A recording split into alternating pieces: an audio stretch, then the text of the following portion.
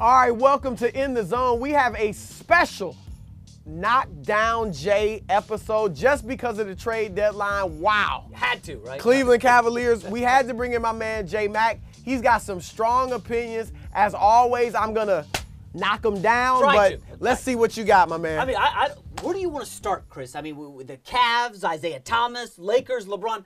I actually think we should start with the Cleveland Cavaliers, if you don't mind. It is your podcast.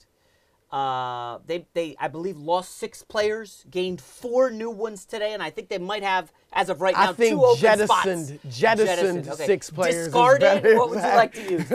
But Chris, I let's just start bluntly. I do believe they got a lot better today as a basketball team. You know, all season you've been ribbing me. I've been saying I think the Eastern Conference is a toss-up. Celtics, Cavs. I know you've been knocking me for that.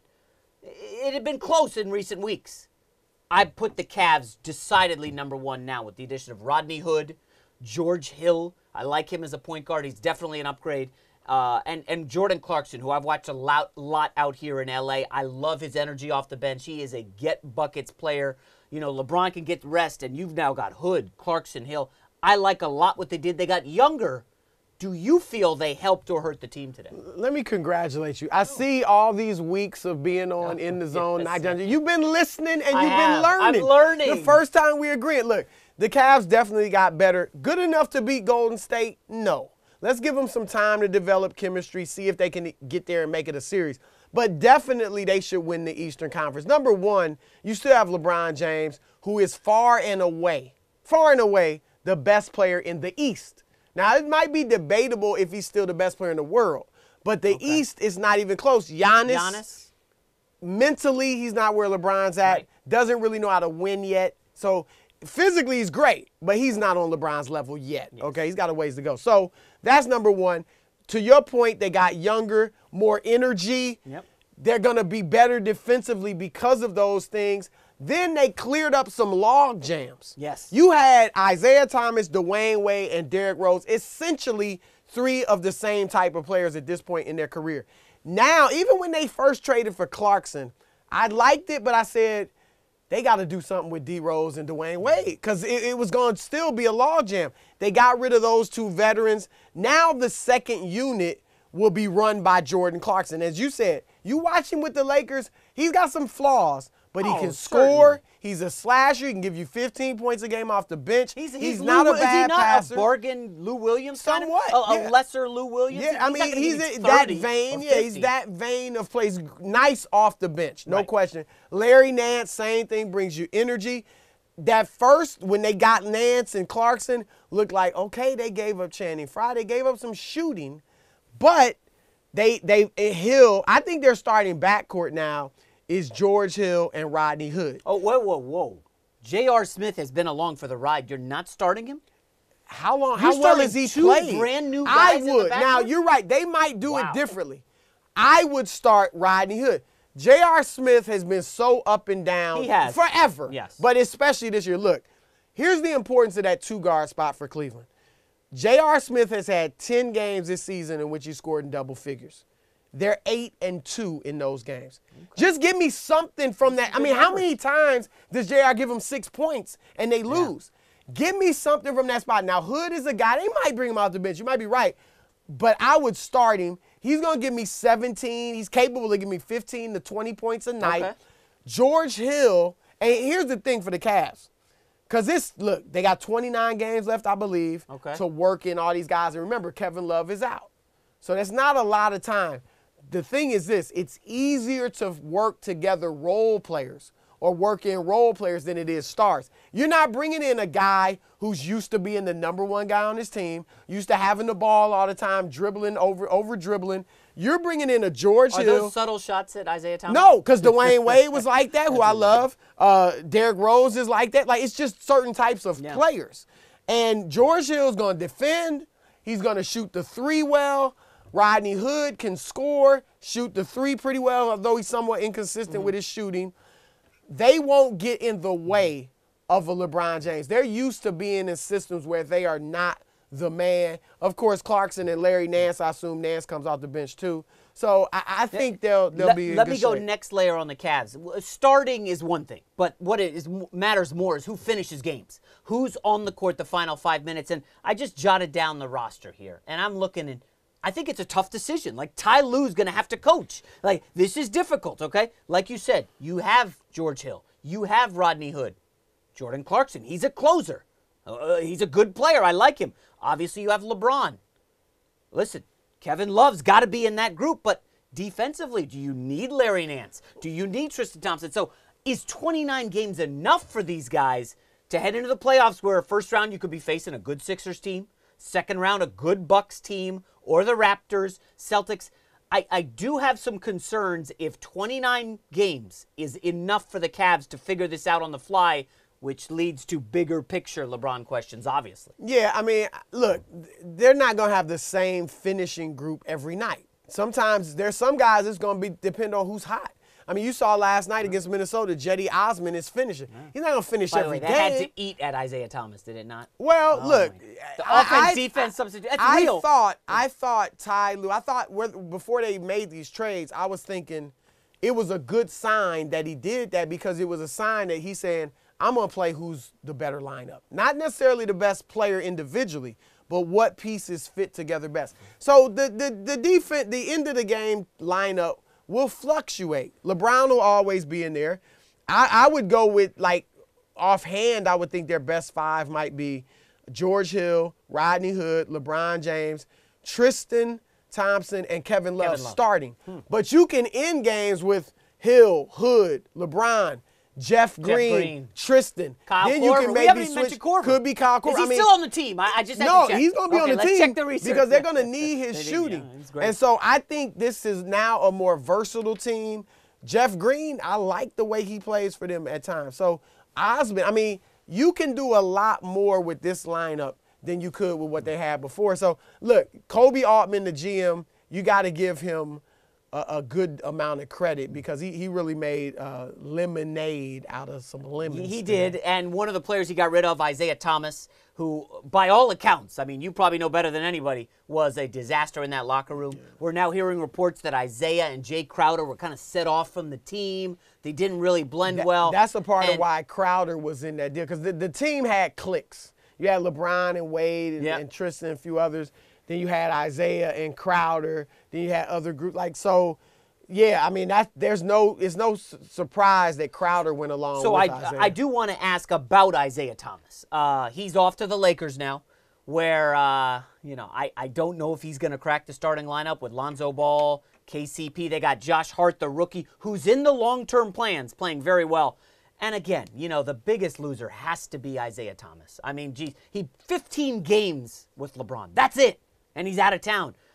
You know, when you ask what the future holds for Isaiah Thomas, Chris, I mean, he's got 25, 30 games to let it work out in LA. If not, what? I mean, this is a guy Well, who look. a year ago, third team All NBA. He was fifth in the MVP voting. He's now looking at just two guys. Maybe if the Lakers kick him to the curb, who's gonna? They're who gonna wants this guy? the, he is, is not, he damaged goods? He is not in the Lakers' long-term plans. I don't care what they say. You can't. Lonzo Ball is the future point guard Without of that team. There's no doubt. And Isaiah and Lonzo, I don't see it working. When Lonzo gets back, I think they're gonna have to bring Isaiah off the bench. He's not gonna be happy about that. He's obviously trying to get paid. I'm with you. I feel for him because a year ago, not only did he give us 29 points a game, great fourth quarter scoring, led him to the top seed in the East, 53 points a game or, or in a Yeah, yeah, playoff right, right. game when his late on his late sister's birthday, Oh, played injured. I mean, the guy had a storybook season, but was making six million dollars a year. Ah. This year, six million dollars a year. He's never had his payday. Okay, he's only made like when I 22 look at million, 29 million is, and that he's I know that sounds had a his. lot. He's No. 29 years old. Yeah, this so was this his- was his chance He for blew a it. big Let's be honest, he I don't it. think he blew it. He got hurt. Well, listen, when you He get got traded, hurt. no, no, no, Chris, hold on. You go to a new team where LeBron's the leader.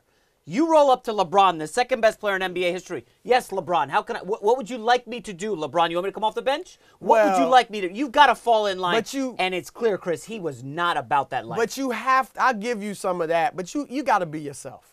What's gotten a five nine guy to this level where you could be fifth in MVP voting is a chip on your shoulder. Ah. Is is an arrogance that people think you're crazy. Nate Robinson, same way. Hey, that can Allen work in Iverson, Sacramento and same way. Like smaller guys sometimes have to have that chip to get to that level. A lot of places Isaiah was, you heard similar things. That's who he is. You're right. The comments were crazy. You just got here. You're criticizing. Okay. coaching So fine. Let me let me ask you while but you're on this role defending Isaiah. He goes to the Lakers. They say we want you to come off the bench. He says, "Uh-uh, not happening." Well, he ain't. He's not in position to say that. and then, who's gonna want this guy after That- what he just went through? the- nobody's paying this guy. Nobody's giving him a long-term contract. There is no shot. Well, at anybody. I think the damaged goods, is- locker room disaster. Five foot nine. Don't play D Well, his, his reputation has been settled. It's not like people are like, "Wow, Isaiah had problems in the locker room." I mean, you hear that all over the league. His rep is not great. The question is this: He wanted the max money. He wasn't getting max. I don't know that he'll get 20 million a year. I actually You don't think, know. I actually think he could uh, end up. I hope this isn't the case for him. I could see him settling for a multi-year mid-level deal. Three years, fifteen mil. Three years. Well, the, mil. the mid level is eight over Eight, eight okay, so a year. three for 24. I mean, Lou Williams took He should take that and run. He should have got more. But that think about this guy wanted the they had to back up the Brinks truck, right? now the thing is, who's going to want him? What he what Isaiah needs to do is this. Hopefully he's listening and and taking heed. Well, he came after when he you goes, on IG, so when I he goes to the. Lakers, he needs to be a good soldier. Whatever, they, zip it up. I don't play your role. If that role is what Jordan Clarkson was doing, coming off the bench, giving them 15 points a game, show a good team that I could come off the bench, give you a spark, and be that guy. I There you could go. be your Lou Williams off the bench. I could be your Jamal Crawford off the bench. Yep. Otherwise, no good teams are going to want him. It's just will be a bad team that, hey, he's 5'9", he's exciting. Let's get him to put fannies in the seats. And then they're not going to pay you a ton of money. So Here's a best case scenario. So uh, KCP was with the Pistons. His deal ended. Nobody's giving him a long-term contract. The Lakers needed a stopgap for one year. I think KCP got 18 million for one year. If a team needs a guy, doesn't want to commit long-term, just wants one year, maybe he gets 15 million for one year. I mean, that's possible. yeah, but point guard is a position where, I mean, dude, Dennis Schroeder, who's really good, is like not even a top 15 point guard.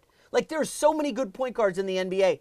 I don't know where he goes. I feel a little bad for him, but that's good luck, Isaiah. All right, moving on. Chris, uh, listen, this is one that you know we haven't disagreed a lot here. The Los Angeles Lakers. They have got rid of Jordan Clarkson.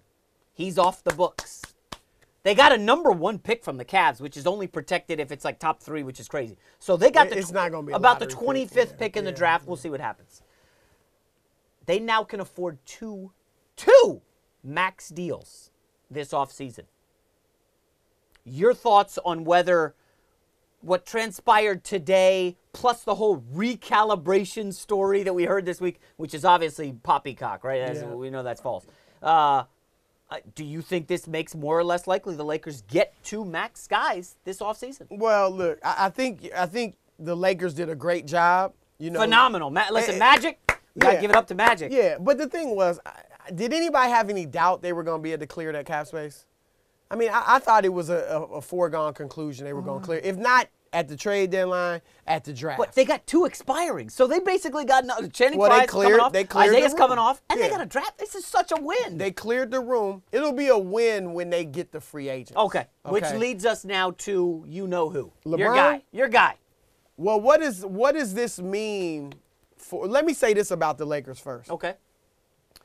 Rob Pelinka and Magic Johnson, they're playing the political game.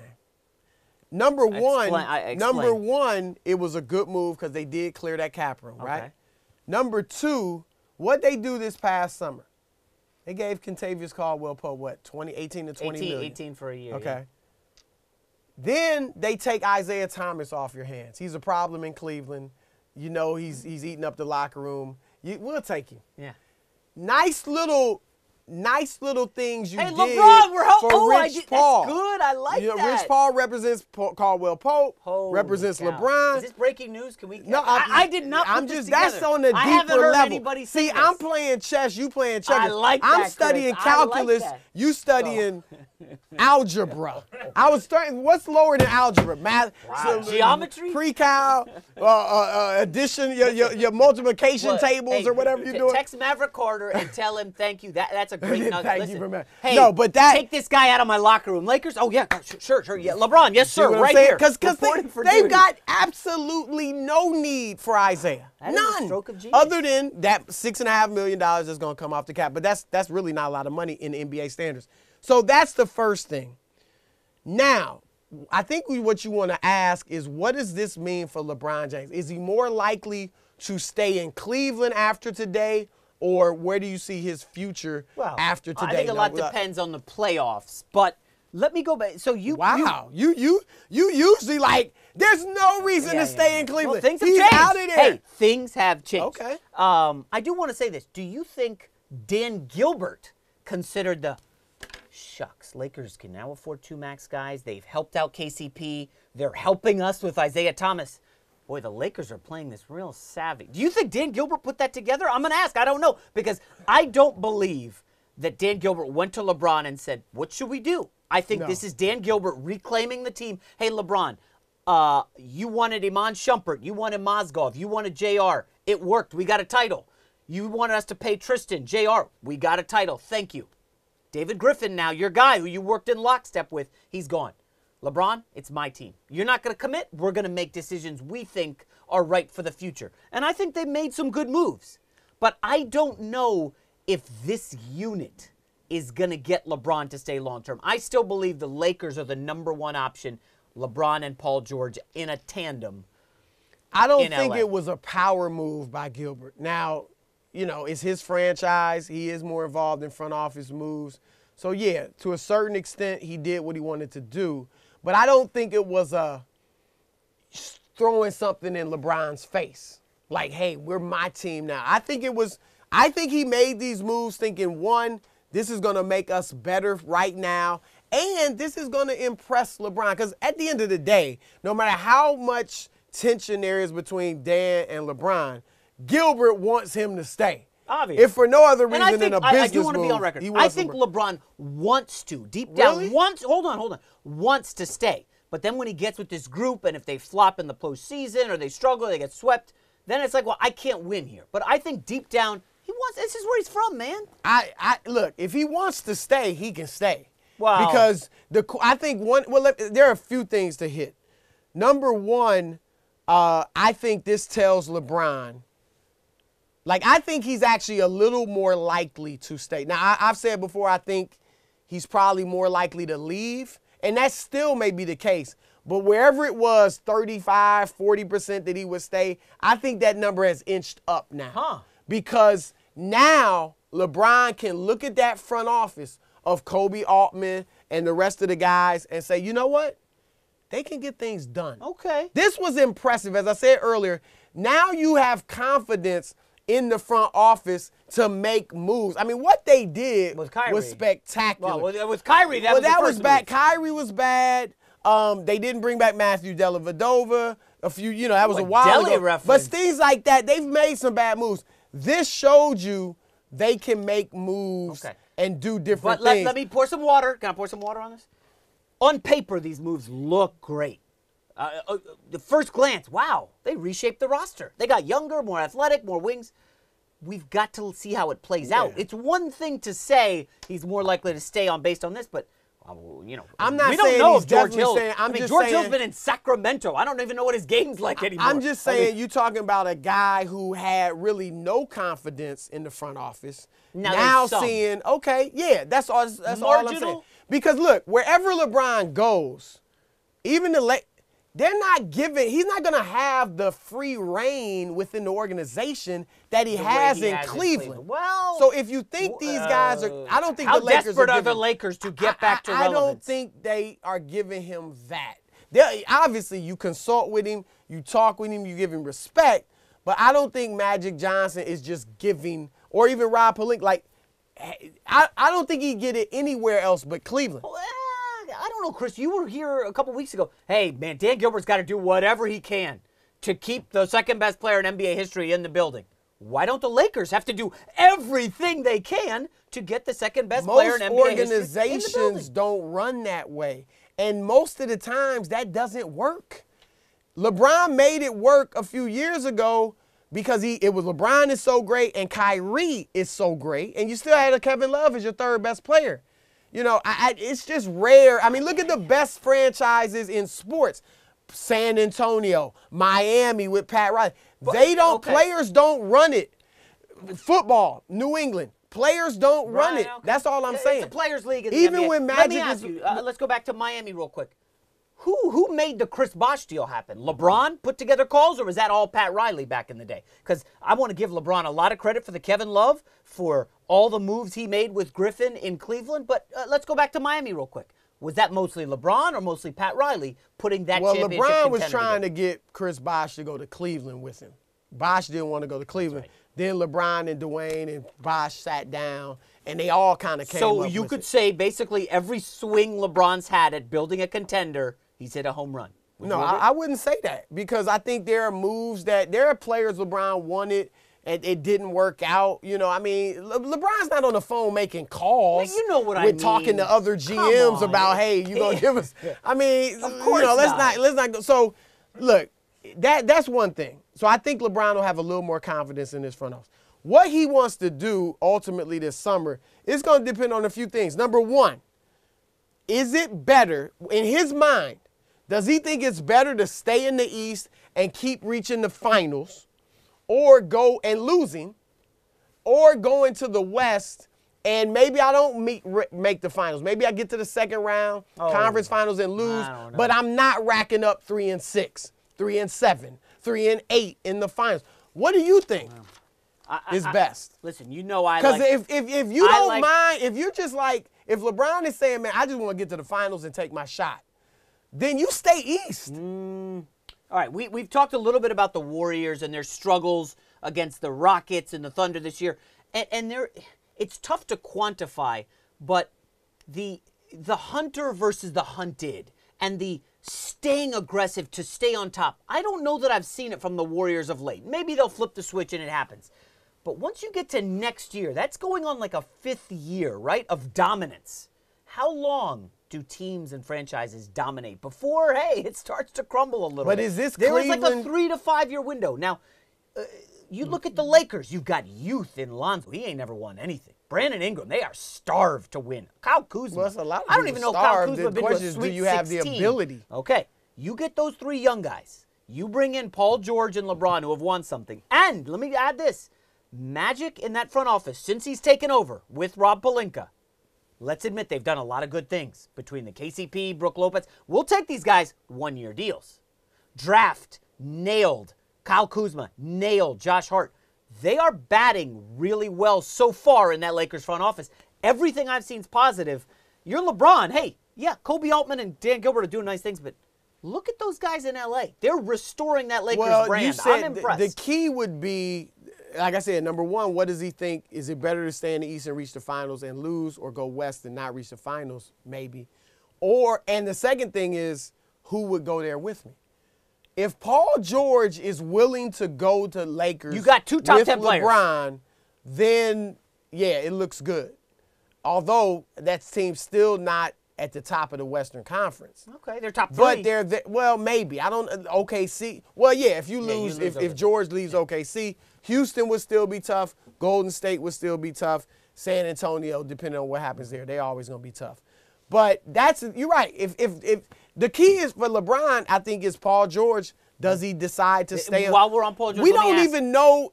I mean, I, I assume George would like to play with LeBron. Yeah, right. We don't know That's that another thing. Let me ask you, Paul George. We've seen him improve lately. I mean, he looks ridiculous. Playing really well. He didn't make the All Star team initially, right? He was added. We don't, I don't know Paul George at all. I wonder. He was the alpha in Indiana. Went to the Eastern Conference Finals twice as the number one guy. He's now the number two guy. Would he be the number one or number two in LA? If LeBron 34 next year, Paul George still at, I believe, 28, 29 in his prime, would Paul George. No- you don't even have to think about that, huh? LeBron James is still better than Paul George. Yes. By a wide Right, margin. As right. good as George is, So so wait, does Paul George then is he stuck being a number two? he's a number two. You don't think he's an alpha? Not on a championship team. Eastern Conference Finals twice as the alpha against LeBron. He did lose. On a championship team. Championship. Okay. He's a number two. That's no slight. But he's a number two. Period. The end. He was the number one the last two I- years I- in Indiana. How far did they go? Well, he was hurt the one year, right? He missed an entire season. The last back. two years he's been He healthy. came back and they, were, were not a very seventh good. and an Yeah, they were not seed. very good. They weren't. You need a roster, man. Is that happening with LeBron James? Would there ever be a seventh but, or eighth uh, seed? come on, so LeBron's then now that tells you 34. LeBron's gonna be the number one guy. He's not. George is number two right now. To Westbrook. Right, and we'll see what they do. But so okay, so how could he be a top twelve guy in the NBA, top fifteen, and be a number two? I How think many number a one? I'm talking about number one on a championship team. Right. Blake Griffin is a number one, not on a Yeah, he's championship team, list. but he's So, a okay, number one. How many number ones? Chris Paul's a number one, but is he a mm. number one on a championship oh, I would team? no. no. no. So how many James Harden is a number one. James Harden. Let's see. Let's Kevin see. Durant. There are three guys who. Prove, That's it? Let, let me. Kawhi Leonard? Let me finish. There are three guys in the NBA who have proven, Proven. proven that they are a number one guy on a championship team. LeBron James, Kevin Durant, and Steph Curry. Kawhi That's Leonard. it. No Kawhi Has Leonard. he proven it? He was NBA Finals MVP. He averaged 14 points a game that year. He wasn't he- Finals MVP. So was Andre Iguodala. So it's a Does that mean- thing. Okay, It was a got series. It. was a good series by Kawhi. I'm talking about for an entire That's it. 82 game. I'm just stating facts. Now, do I think Kawhi could lead a team to a championship in San Antonio? Yes. Do I think James Harden is that caliber of player? Yes. Do I think? I, uh, I don't know. He's a number one, but is he a number one on a champ? It's Gordon a difference. No, okay, I'm joking. It's a difference, though. You see what I'm saying? Right, right, I'm right. just saying there are three guys who have proven it. Proven it. That's all I'm saying. Well, what is? I, wait, wait, I like these on, other on, guys, but Did they haven't proven it Did you say James yet. Harden in that group or no? I said Harden is that caliber player, but he hasn't proven it yet.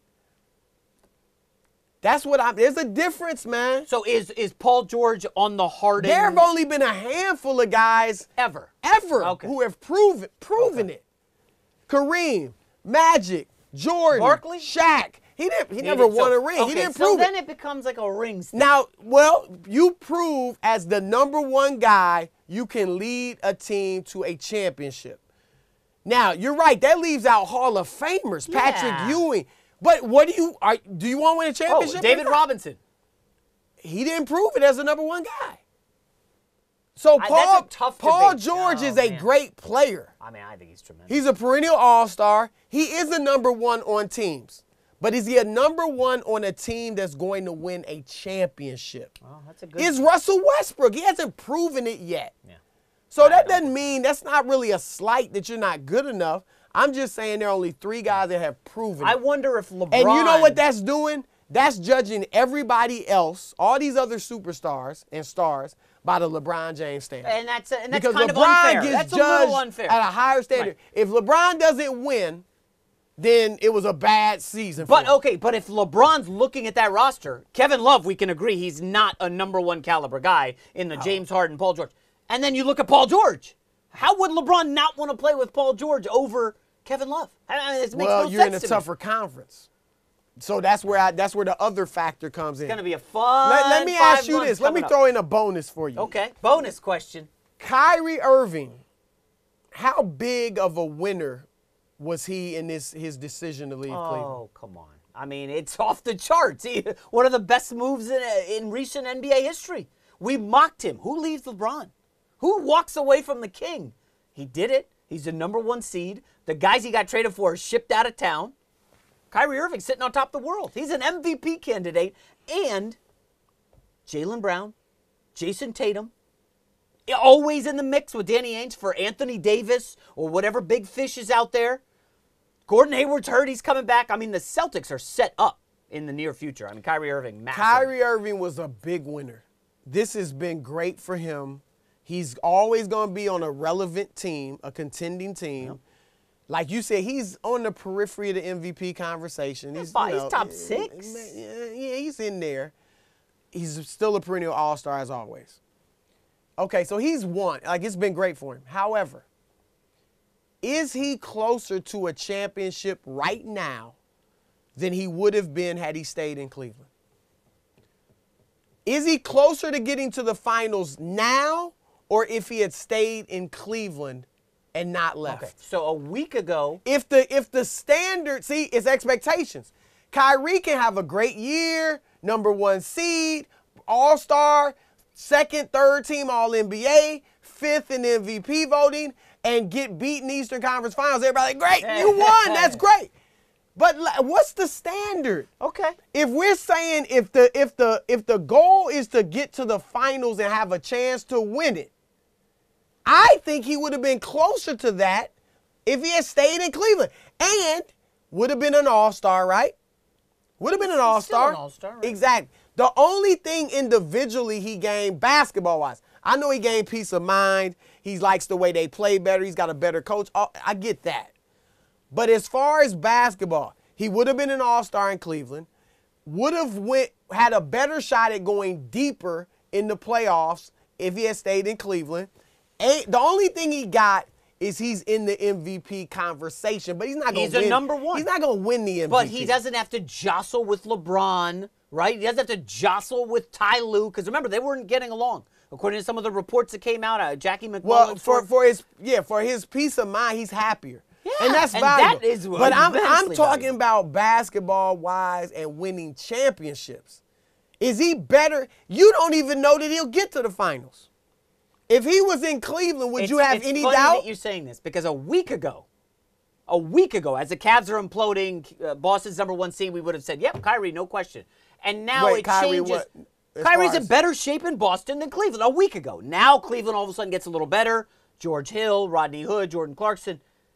I'm still going to lean Kyrie. I know you're not going to like it. I, I actually believe, and we can disagree with this all day, that the Celtics would have a better chance in the finals against the Warriors.